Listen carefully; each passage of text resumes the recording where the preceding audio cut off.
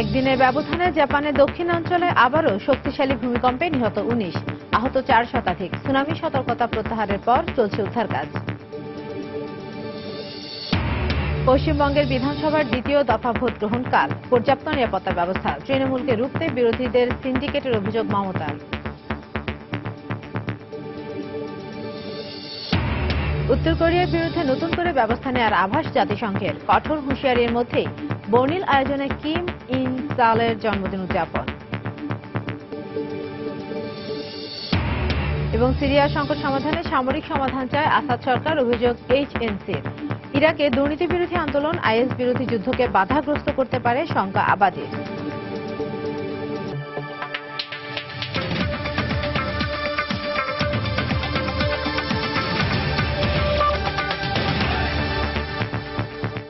আন্তর্জাতিক সময়। সঙ্গে আছি আমি ইশরাত জাহান।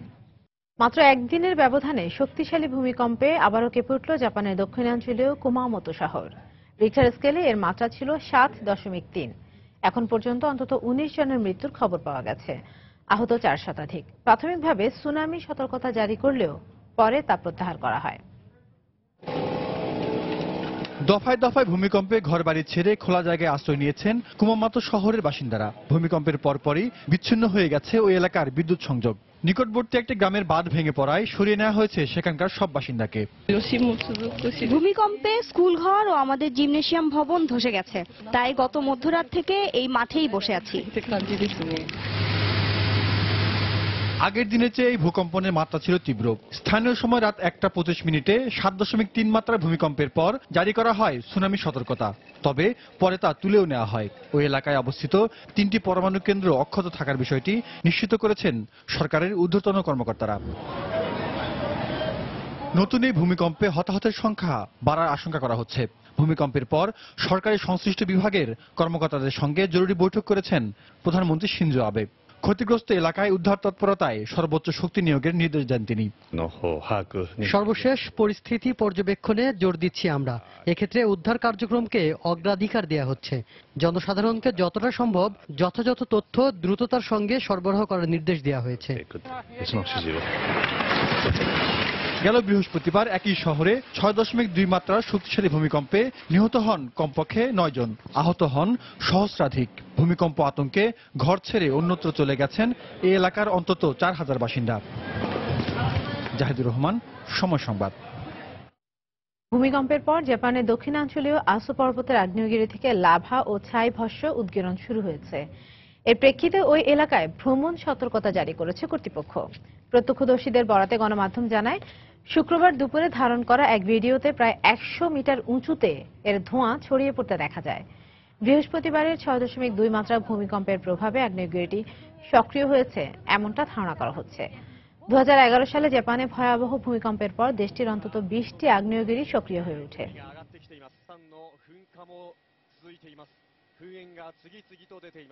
পশ্চিমবঙ্গে বিধানসভা নির্বাচনে বিরোধী রাজনৈতিক দলগুলো তৃণমূলকে রুখতে সিন্ডিকেট তৈরি করেছে বলে অভিযোগ করেছেন রাজ্যে ক্ষমতাসীন দলটির সভানেত্রী মমতা বন্দ্যোপাধ্যায়। কাল দ্বিতীয় পর্বের ভোট গ্রহণের আগে শুক্রবার উত্তর চব্বিশ পরগনায় এক নির্বাচনী সভায় মমতার নিশানায় পরিণত হন বামফ্রন্ট কংগ্রেস নেতারা। কলকাতা প্রতিনিধি সুব্রত আচার্যের পাঠানো তথ্য ছবি নিয়ে ডেস্ক রিপোর্ট। রাত পোহালেই ভারতের পশ্চিমবঙ্গে বিধানসভা নির্বাচনের দ্বিতীয় দফার ভোট গ্রহণ। এ উপলক্ষে শুক্রবার শেষ মুহূর্তের প্রচার প্রচারণায় ব্যস্ত থাকতে দেখা যায় তৃণমূল নেতাকর্মীদের। উত্তর চব্বিশ পরগনার বনগায় এক নির্বাচনী সভায় বামফ্রন্ট কংগ্রেস ও বিজেপির কঠোর সমালোচনা করেন মমতা বন্দ্যোপাধ্যায়। কতগুলো রাজনৈতিক দল কাজ করে না? ক্ষমতায় থাকলে কাজ করতে জানে না? বাংলায় সর্বনাশ করে বেড়ায়? সেই দলগুলো মিলে এখন একটা সিন্ডিকেট তৈরি করেছে। এটা হচ্ছে নালিশের সিন্ডিকেট ঘুম থেকে উঠছে মমতাকে গালাগালি দিয়ে চা বিস্কুট খাচ্ছে। আর চিবিয়ে চিবিয়ে পোকরানো নেতাগুলো কুকড়িয়ে কুকড়িয়ে কথা বলছে, আর নালিশের পর নালিশ। ইলেকশনের পরে ঠিক করেছে, ওদের জন্য বানাবো কটা বালিশ। একেবারে বালিশ দিয়ে ঘুমিয়ে থাকবে।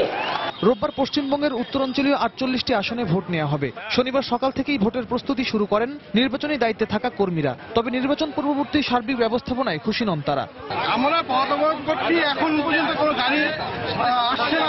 হ্যাঁ যারা প্রশাসনে আছে তারা জানুক তাড়াতাড়ি গাড়ির ব্যবস্থা করে দেয় আমরা। আমরা এখন পথ অবরোধ করছি আমাদের রিলিজ দিন নাহলে আমাদের গাড়িতে করে নিয়ে যান। প্রথম দফার দুই পর্বের ভোটে নির্বাচন কমিশনের বিরুদ্ধে পর্যাপ্ত নিরাপত্তারক্ষী না দেওয়ার অভিযোগ তোলে শাসক দল তৃণমূল সহ রাজ্যের বিরোধী দলগুলো। তবে রোববারের নির্বাচন উপলক্ষে পর্যাপ্ত নিরাপত্তা কর্মী মোতায়েনের ঘোষণা দিয়েছে নির্বাচন কমিশন। সময় সংবাদ, কলকাতা। বিগত বছরগুলোতে কংগ্রেস ভারতীয় সমাজে বিভাজন তৈরি করেছে বলে অভিযোগ করেছেন দেশটির প্রধানমন্ত্রী নরেন্দ্র মোদী। উত্তরপ্রদেশে বিধানসভা নির্বাচনের প্রচারণায় অংশ নিয়ে তিনি কথা বলেন। এ সময় তিনি আরও বলেন কংগ্রেস নিজেদের নিম্নবর্গীয় নাগরিকদের বন্ধু বলে দাবি করলেও আসলে তারা দরিদ্রদের জন্য কিছুই করেনি। এছাড়া মৌ শহরের কিংবদন্তি দলিত নেতা ডক্টর আম্বেদকরের স্মৃতি রক্ষার্থে কংগ্রেস কোনো পদক্ষেপ নেয়নি বলেও কঠোর সমালোচনা করেন মোদী। অন্যদিকে লখনৌতে এক নির্বাচনী সমাবেশে বহুজন সমাজ পার্টির নেত্রী, মায়াবতী, নরেন্দ্র মোদী কিংবা কংগ্রেসের রাহুল গান্ধী কেউই দলিতদের উন্নয়নে কিছু করেনি বলে তীব্র সমালোচনা করেন। উত্তর কোরিয়ার ক্ষেপণাস্ত্র পরীক্ষার নিন্দা জানিয়ে দেশটির বিরুদ্ধে আরও কঠোর ব্যবস্থা গ্রহণের হুঁশিয়ার দিয়েছে জাতিসংঘ। এই ঘটনায় কোরীয় উপদ্বীপে নতুন করে উত্তেজনা ছড়িয়ে পড়ার বিষয়ে সতর্ক করেছে চীন। আর যুক্তরাষ্ট্র বলছে, আন্তর্জাতিক সম্প্রদায় থেকে উত্তর কোরিয়াকে আরও বেশি বিচ্ছিন্ন করে ফেলা হবে। বিশ্ব সম্প্রদায়ের এমন হুমকি ধামকির মধ্যেই শুক্রবার উত্তর কোরিয়ায় বর্ণিল আয়োজনে উদযাপন হল দেশটির প্রয়াত প্রতিষ্ঠাতা কিম ইল সাং এর একশো চারতম জন্মবার্ষিকী। শুক্রবার রাত বারোটা এক মিনিটে উত্তর কোরিয়ার প্রতিষ্ঠাতার জন্মদিনের উৎসবে মেতে ওঠে পিয়ংয়ংবাসী এ উপলক্ষে রাজধানীতে জমকালো আতসবাজি প্রদর্শনীর আয়োজন করা হয়। ডে অফ স্থান হিসেবে পরিচিত দিনটিকে স্মরণীয় করে রাখতে আয়োজন করা এই আলোক উৎসব সরাসরি সম্প্রচার করে দেশটির রাষ্ট্রীয় টেলিভিশন কেআরটি। এর আগে কিম ইল সাং এর জন্মদিনে পিয়ংইয়ং নতুন করে মাঝারি পাল্লার একটি ব্যালিস্টিক ক্ষেপণাস্ত্রের পরীক্ষা চালালেও সেটি ব্যর্থ হয় বলে দাবি করে দক্ষিণ কোরিয়া ও যুক্তরাষ্ট্র। পরীক্ষা সফল না হলেও তা জাতিসংঘ প্রস্তাবনার স্পষ্ট লঙ্ঘন বলে শুক্রবার নিরাপত্তা পরিষদের এক বিবৃতিতে উল্লেখ করা হয়। এতে কোরীয় উপদ্বীপের পরিস্থিতি পর্যবেক্ষণ করে শিগগিরই উত্তরের বিরুদ্ধে নতুন করে শাস্তিমূলক ব্যবস্থা গ্রহণের ইঙ্গিত দেয়া হয়। উত্তর কোরিয়ার ক্ষেপণাস্ত্র পরীক্ষার চেষ্টায় ক্ষুব্ধ প্রতিক্রিয়া দেখিয়েছে তাদের মিত্রপক্ষ চীনও। এ কারণে নতুন করে উত্তেজনা ছড়িয়ে পড়ারও আশঙ্কা প্রকাশ করে চীনা পররাষ্ট্র দপ্তর। এমনিতেই কোরিয়া উপদ্বীপে জটিল অবস্থা বিরাজ করছে। এর মধ্যে পিয়ং ইয়ং এর এমন কর্মকাণ্ড সহিংসতা উস্কে দিতে পারে। সব পক্ষের উচিত নিরাপত্তা পরিষদের প্রস্তাবনা মেনে চলা এবং যে কোনো উস্কানিমূলক কাজ এড়িয়ে চলা। এ অবস্থায় উত্তর কোরিয়ার উপর চাপ অব্যাহত রাখতে চীনের সঙ্গে একযোগে কাজ করে যাওয়ার কথা জানিয়েছে হোয়াইট হাউস।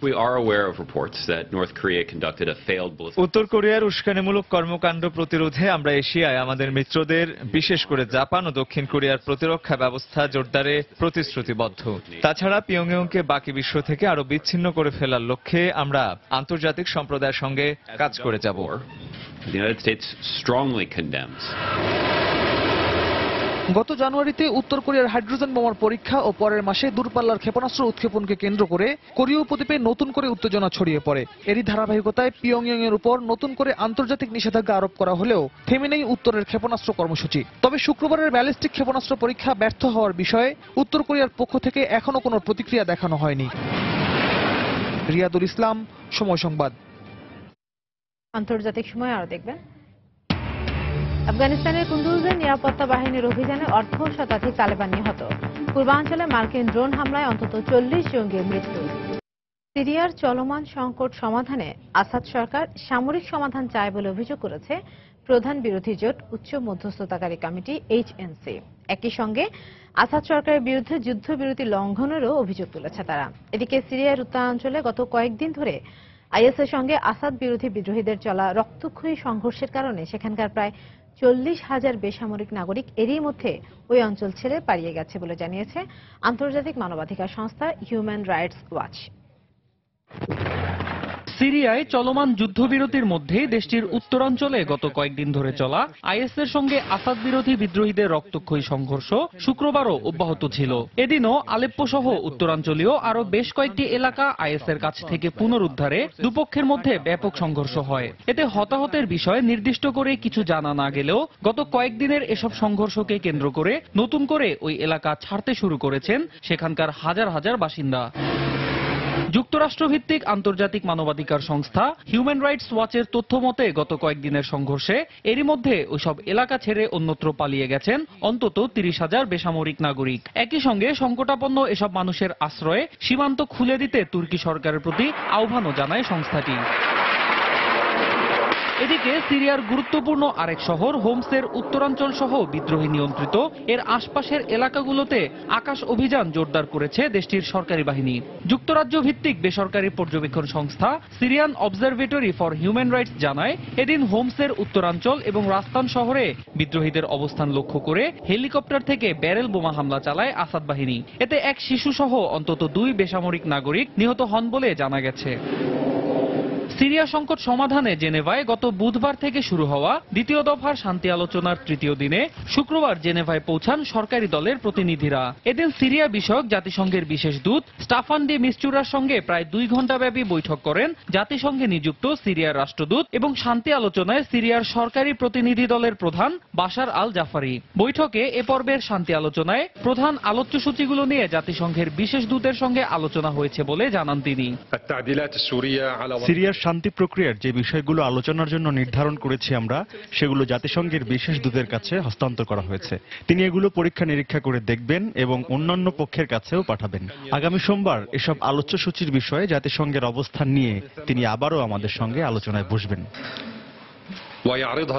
এদিকে আসাদ সরকার সিরিয়ার উত্তরাঞ্চলে সেনা অভিযান চালানোর মধ্য দিয়ে সংকট নিরসনে শান্তি আলোচনার পরিবর্তে সামরিক সমাধান চায় বলে অভিযোগ করেছে দেশটির প্রধান বিরোধী জোট এইচএনসি। শুক্রবার জেনেভায় তৃতীয় দিনের শান্তি আলোচনা শেষে সাংবাদিকদের কাছে অভিযোগ জানান তারা।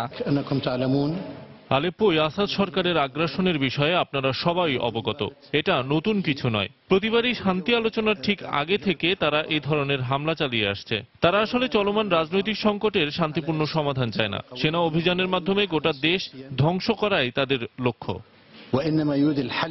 এছাড়াও প্রেসিডেন্ট আসাদের বিরুদ্ধে যুদ্ধবিরতি লঙ্ঘনের অভিযোগ তুলে তা মেনে চলতে তার উপর চাপ প্রয়োগে আন্তর্জাতিক সম্প্রদায়ের প্রতি আহ্বানও জানায় দেশটির প্রধান এই বিরোধী জোট। অন্য কর্মকার সময় সংবাদ।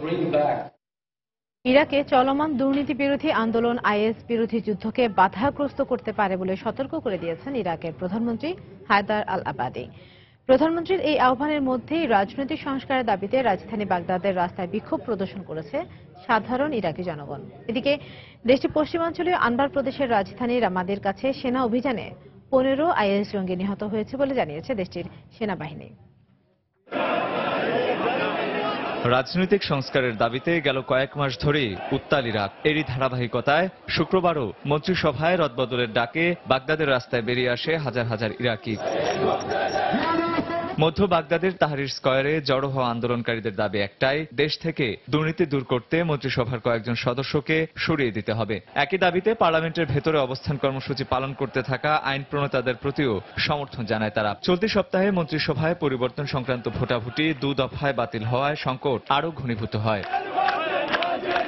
বাগদাদ জুড়ে যখন বিক্ষোভের জোয়ার, তখন টেলিভিশন ভাষণে প্রধানমন্ত্রী আবাদি দেশবাসীকে এ বিষয়ে শান্ত থাকার আহ্বান জানালেন। শিগগিরই একটি বাস্তবসম্মত ও স্বচ্ছ মন্ত্রিপরিষদ গঠনের অঙ্গীকার ব্যক্ত করেন তিনি।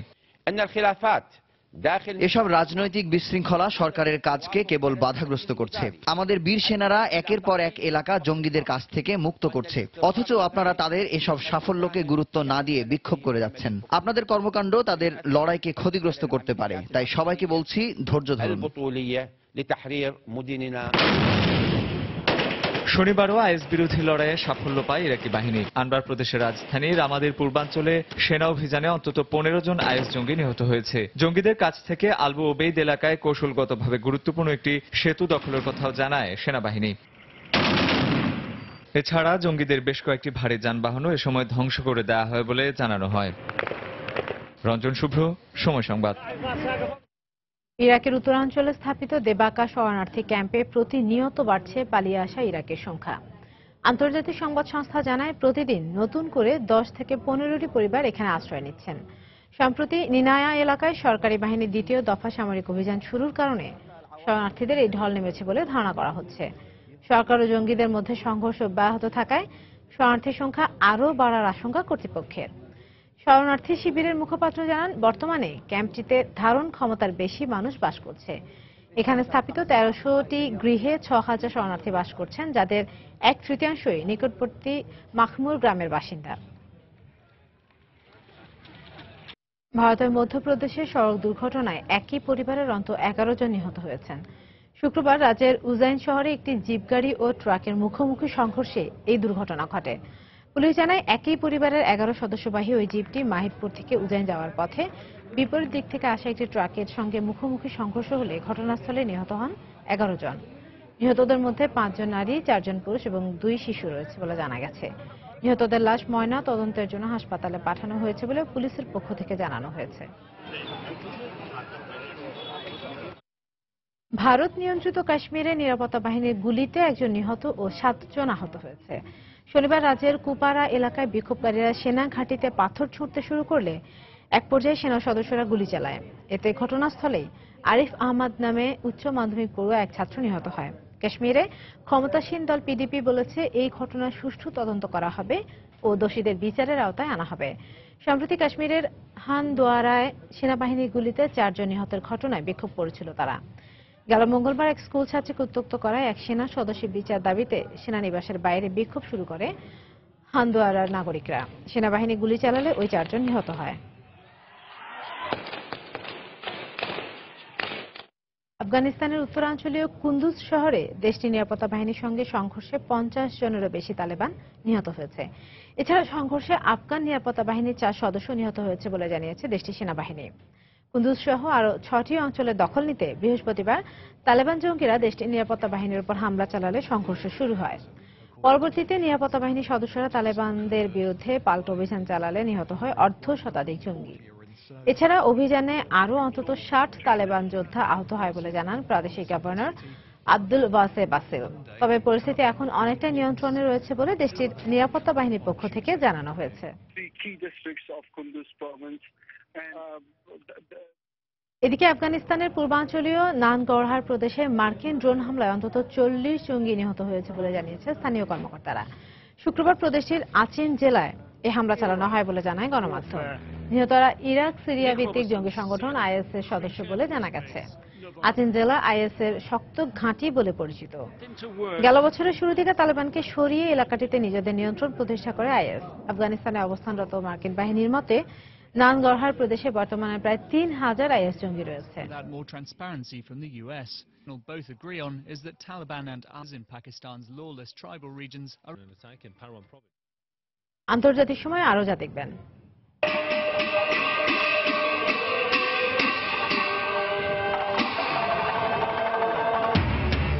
ভুটানের ডিউক ও ডাচেস অব ক্যামব্রিজের জন্য রাজকীয় আয়োজন দুদিনের সফর শেষে তাজমহল পরিদর্শনে থিম্পু ছাড়লেন উইলিয়াম টেট ফিলিস্তিনকে রাজনৈতিক ও অর্থনৈতিক সহযোগিতা দেওয়ার আশ্বাসের মধ্য দিয়ে শেষ হল ইসলামী সহযোগিতা সংস্থা ও আইসির শীর্ষ সম্মেলন। ইস্তাম্বুলের তেরোতম এই সম্মেলন শুক্রবার একটি ঘোষণা প্রকাশের মধ্য দিয়ে শেষ হয়।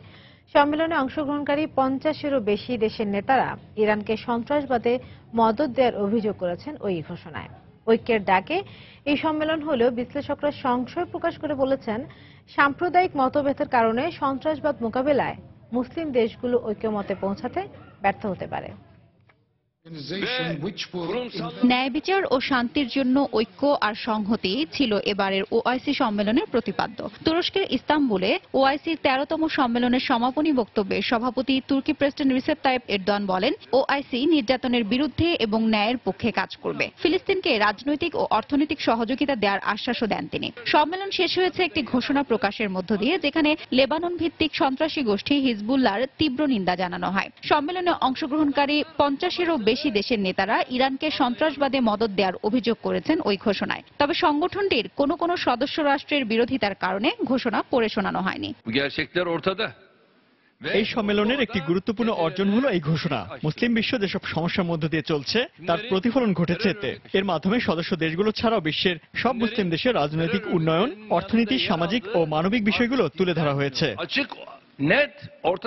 মুসলিম বিশ্বের ঐক্যের আহ্বানের মধ্যে এবারের ওআইসি সম্মেলন অনুষ্ঠিত হলেও এক্ষেত্রে তেমন কোনো অগ্রগতি হয়নি। ওআইসিভুক্ত কয়েকটি দেশের মধ্যে বিভক্তি তীব্রভাবেই দেখা গেছে। বিশেষ করে সুন্নি প্রধান সৌদি আরব এবং শিয়া প্রধান ইরানের মধ্যকার দ্বন্দ্বের কোনো সমাধান হয়নি। এমন পরিস্থিতিতে সন্ত্রাসবাদ মোকাবিলায় মুসলিম দেশগুলো ঐকমত্যে পৌঁছাতে ব্যর্থ হতে পারে বলে মনে করছেন বিশ্লেষকরা। Mezhep çatışmalarını çözmek zorunda. ইসলামী রাষ্ট্রগুলোকে প্রথমেই যে কাজটি করতে হবে তা হলো নিজেদের মধ্যকার সাম্প্রদায়িক ও গোত্রগত বিভক্তি দূর করতে হবে। ইরান ও সৌদি আরবের কথা বলছি আমি। সন্ত্রাসবাদ মোকাবেলার জন্য এ দুই দেশকে ঐক্যে পৌঁছতে হবে. মুসলিম বিশ্বে জনগণের স্বার্থ রক্ষা নিরাপত্তা এবং শান্তি প্রতিষ্ঠার লক্ষ্যে উনিশশো উনসত্তর সালে প্রতিষ্ঠিত হয় ইসলামী সহযোগিতা সংস্থা বা ওআইসি। তিন বছর পর পর এ সংস্থার শীর্ষ সম্মেলন অনুষ্ঠিত হয়। তেরোতম এ সম্মেলনের মধ্য দিয়ে দায়িত্ব হস্তান্তর করে দেওয়া হয়েছে তুরস্কের কাছে। হাফসাতুন্নেসা সময় সংবাদ। এদিকে ফিলিস্তিনকে একটি স্বাধীন রাষ্ট্র হিসেবে স্বীকৃতি দিতে বিশ্বের মুসলিম রাষ্ট্রগুলোর প্রতি আহ্বান জানিয়েছেন তুর্কির প্রধানমন্ত্রী আহমেদ দাভুতৌলু ফিলিস্তিনি ভূখণ্ডে ইসরায়েলের বসতি সম্প্রসারণ রোধে আন্তর্জাতিক সম্প্রদায়ের এগিয়ে আসা উচিত বলে মন্তব্য করেছেন ফিলিস্তিন নেতা সাহেব এরাকাত। এদিকে অবরুদ্ধ পশ্চিম তীরে ইসরায়েলি পুলিশের গুলিতে আরও এক ফিলিস্তিনি নিহত হয়েছেন। বৃহস্পতিবার অবরুদ্ধ পশ্চিম তীরে রামাল্লার কাছাকাছি একটি আর্থিক প্রতিষ্ঠানে অভিযান চালিয়ে বিস্ফোরক দিয়ে উড়িয়ে দেওয়ার চেষ্টা করে ইসরায়েলি বাহিনী। তাদের অভিযোগ, ফিলিস্তিনের বিভিন্ন সন্ত্রাসী গোষ্ঠীকে আর্থিক সহায়তা দেয় প্রতিষ্ঠানটি। এই বিস্ফোরণে ওই প্রতিষ্ঠানের কাছাকাছি থাকা আরও প্রায় দশটি দোকানে আগুন লেগে যায়। এতে ব্যাপক ক্ষয়ক্ষতি হয় বলে জানায় দমকল বাহিনী। পশ্চিম তীরের একটি আর্থিক প্রতিষ্ঠানে বিস্ফোরণ ঘটিয়ে এই পুরো এলাকায় আগুন ধরিয়ে দিয়েছে ইসরায়েলিরা। দমকল বাহিনী এলাকায় ঢুকতে চাইলে তারা বাধা দেয়। কারণে আগুন নেভাতেও দেরি হয় আমাদের। একই দিন অবরুদ্ধ পশ্চিম তীরে এক ফিলিস্তিনিকে গুলি করে হত্যা করেছে ইসরায়েলি পুলিশ। তাদের অভিযোগ ওই ফিলিস্তিনি কুরাল নিয়ে তাদের উপর হামলা চালিয়েছিল। গত কয়েক মাসে ইসরায়েল অধিকৃত অঞ্চলে পুলিশের গুলিতে এমন দুই শতাধিক ফিলিস্তিনি নিহত হয়েছে যাদের প্রায় একশো ত্রিশ জনই হামলাকারী বলে দাবি পুলিশের। মধ্যপ্রাচ্যে এই সংঘাত সহিংসতার স্থায়ী সমাধান আনতে ফিলিস্তিনের স্বাধীনতা জরুরি বলে জানিয়েছেন তুরস্কের প্রধানমন্ত্রী আহমেদ দাভুতৌলু ইস্তানবুলে ওআইসি সম্মেলনের পার্শ্ব বৈঠকে ফিলিস্তিনি president Mahmoud Abbas, Pak president Mamnoon Hussain ও আজারি প্রেসিডেন্ট ইলহাম আলিয়েভের সঙ্গে বৈঠকের পর সাংবাদিকদের তিনি বলেন, পূর্ব জেরুজালেমকে রাজধানী করে ফিলিস্তিনকে একটি স্বাধীন রাষ্ট্র হিসেবে স্বীকৃতি দেওয়ার এখনই সময়। আমি বিশ্বের মুসলিম রাষ্ট্রগুলোকে আহ্বান জানাচ্ছি ফিলিস্তিনিদের সঙ্গে কাঁধে কাঁধ মিলিয়ে দাঁড়ান। তাদের অঞ্চলে ইসরায়েল যে অবৈধ দখলদারিত্ব চালাচ্ছে তা বন্ধে ফিলিস্তিনকে স্বীকৃতি দেওয়াই সবচেয়ে কার্যকর সমাধান। Son günlerde tekrar gündeme gelen এদিকে ফিলিস্তিনের প্রধান আলোচক সাইব এরাকাত বলেছেন ফিলিস্তিনি অঞ্চলে ইসরায়েলের অবৈধ দখলদারিত্ব বন্ধে আন্তর্জাতিক সম্প্রদায়ের হস্তক্ষেপ প্রয়োজন। দু হাজার ষোলো সালে ফিলিস্তিনি ভূখণ্ডে ইহুদি বসতি ব্যাপক হারে বেড়েছে উল্লেখ করে তিনি বলেন এ ধরনের কর্মকাণ্ড বিশ্ববাসীকে বুঝিয়ে দিচ্ছে ইসরায়েল অপরাধী। সঞ্জিদা ইসলাম সময় সংবাদ। মার্কিন প্রেসিডেন্ট পদে মনোনয়ন প্রত্যাশী রিপাবলিকান প্রার্থী ডোনাল্ড ট্রাম্পের প্রচারণা নীতির তীব্র সমালোচনা করলেন জাতিসংঘের মানবাধিকার বিষয়ক প্রধান জেইদ রাদ আল হুসেইন। তিনি ট্রাম্পকে ধর্মান্ধ হিসেবে উল্লেখ করে বলেন, ধর্মান্ধতা কখনো ভালো নেতৃত্বের প্রমাণ হতে পারে না। মুসলমানদের বিরুদ্ধে বিদ্বেষ প্রকাশের কারণে হুসেইন এমন মন্তব্য করেন। এদিকে ডেমোক্রেটিক প্রার্থী বার্নি স্যান্ডার্স যুক্তরাষ্ট্রের নির্বাচন পদ্ধতির সমালোচনা করে মন্তব্য করেছেন যুক্তরাষ্ট্রের কোটিপতিরা অর্থের জোরে নির্বাচন কিনে ফেলতে পারে। ভ্যাটিকান সিটিতে সামাজিক অর্থনৈতিক এবং পরিবেশ নিয়ে একটি সম্মেলনে তিনি এমন মন্তব্য করে বলেন ধনী গরিবের ব্যবধান একশো বছর আগে যেমন ছিল তার চেয়ে এখন বেশি খারাপ হয়েছে।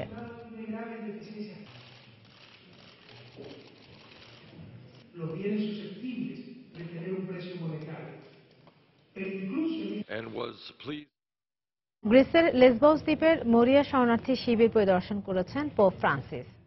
শরণার্থীদের সমর্থন ও সহমর্মিতা জানাতে মরিয়া শরণার্থী শিবিরে যান তিনি।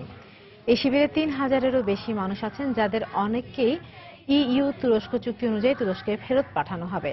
ভ্যাটিকানের পক্ষ থেকে দাবি করা হয়েছে, মানবতা বোধ থেকে পোপ এই সফরে গেছেন। দ্বিতীয় বিশ্বযুদ্ধের পর সবচেয়ে বড় মানবিক দুর্যোগের সাক্ষী হতে তিনি এই সফরে গেছেন বলে জানানো হয় ভ্যাটিকানের পক্ষ থেকে।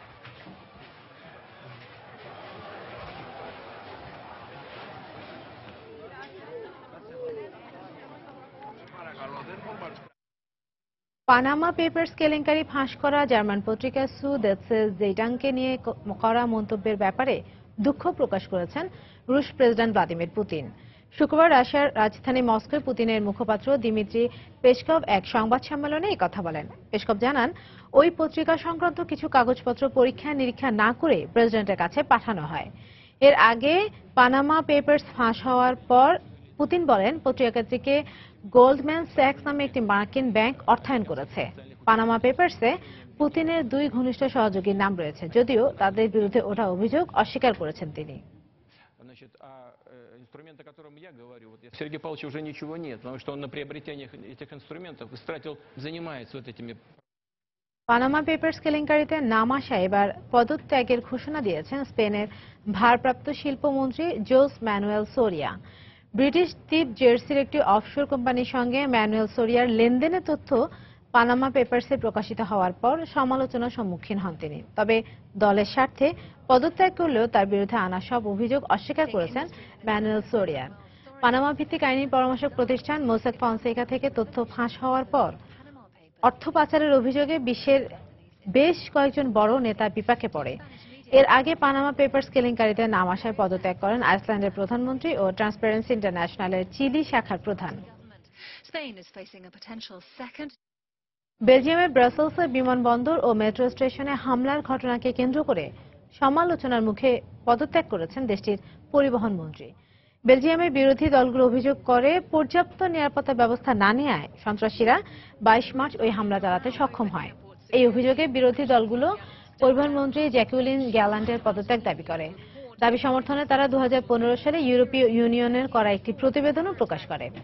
ওই প্রতিবেদনে বেলজিয়ামের বিমানবন্দরগুলোর নাজুক নিরাপত্তা ব্যবস্থার কড়া সমালোচনা করা হয়। তবে ইউরোপীয় ইউনিয়নের প্রতিবেদনটি তিনি এখনও দেখেননি বলে জানিয়েছেন জ্যাকুলিন গ্যালান্ট।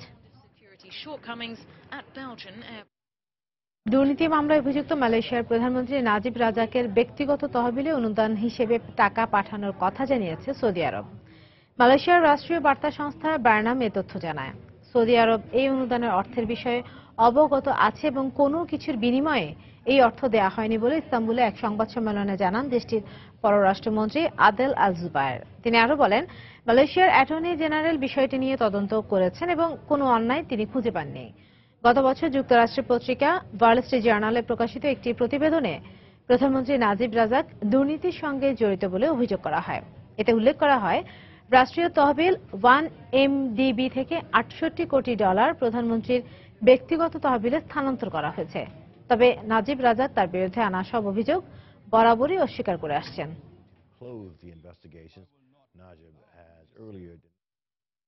তুর্কি প্রেসিডেন্ট এরদোয়ানকে নিয়ে বিদ্রুপাত্মক ভিডিও প্রকাশকারী জার্মানির শীর্ষ কমিটিয়ানের বিরুদ্ধে আইনি ব্যবস্থা নেওয়ার প্রতি সমর্থন জানিয়েছে জার্মান চ্যান্সেলর অ্যাঙ্গেলা মার্কেল এরদোয়ানকে অবমাননা করে ব্যঙ্গাত্মক কবিতা সহ ভিডিওটি তৈরি করেন জার্মান কমেডিয়ান ইয়ান বোমেরম্যান মার্কেন বলেছেন, আদালত এই বিষয়ে চূড়ান্ত সিদ্ধান্ত নেবে এবং এর উপর নির্ভর করবে সংশ্লিষ্ট সম্প্রচার প্রতিষ্ঠানের বিরুদ্ধে অভিযোগ গঠন করা হবে কিনা।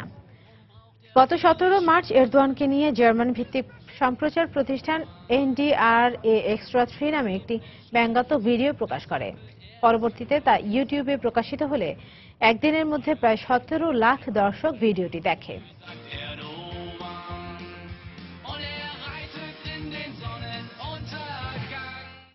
ফ্রান্সের রাজধানী প্যারিসে সরকারের শ্রম আইন সংস্কারের বিরোধিতা করে আয়োজিত সমাবেশে পুলিশের সঙ্গে বিক্ষোভকারীদের ব্যাপক সংঘর্ষ হয়েছে।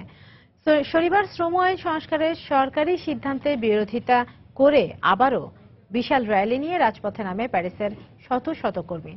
এ সময় কয়েকজন বিক্ষোভকারী পটকা ফুটিয়েছে অভিযোগ করে তাদের উপর কাঁদানে গ্যাস ছড়ে police.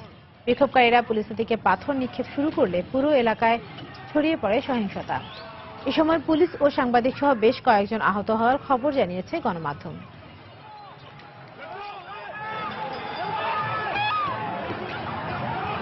C'est un vrai, un vrai bordel. Des gaz lacrymogènes partout. ফ্রান্সের কাছ থেকে ছত্রিশটি রাফায়েল যুদ্ধ বিমান কেনার চুক্তি চূড়ান্ত করেছে ভারত। ক্রয় মূল্য নির্ধারণ করা হয়েছে আটশো আশি কোটি ডলার। প্রথম কিস্তির বিমান সরবরাহ পেতে কমপক্ষে আঠারো মাস সময় লাগবে বলে জানানো হয়। এনডিটিভি জানায় আগামী তিন সপ্তাহের মধ্যে চুক্তিটি সই হবার কথা রয়েছে।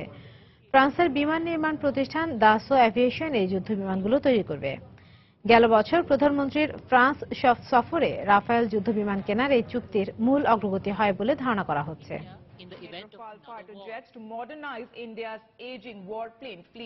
The announcement was made soon after the meeting between the two leaders. Deal, another boost for French manufacturer Dassault would be worth about 4 billion euros.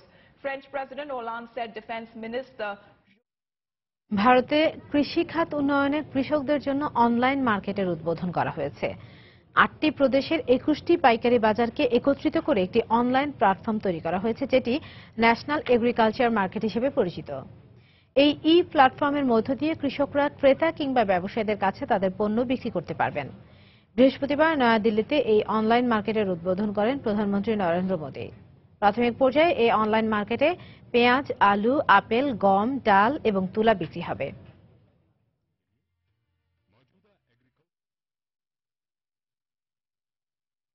Bhutan সফর করলেন Duke of Cambridge R duchess of Cambridge prince William O Kate Middleton সেখানে তাদের আগমন উপলক্ষে নানা অনুষ্ঠানের আয়োজন করা হয়। তাদের জন্য আয়োজিত তীরধনুক চালনা অনুষ্ঠানেও অংশ নেন এই ব্রিটিশ দম্পতি। তিন দিনের ভুটান সফর শেষে তাজমহল পরিদর্শনের জন্য ভারতের উদ্দেশ্যে শনিবার থিম্পু ছাড়েন তারা। বর্ণাঢ্য আয়োজন ও ঐতিহ্যবাহী সাংস্কৃতিক উৎসব। এসবই ব্রিটিশ রাজপুত্র ও তার স্ত্রীর আগমন উপলক্ষে।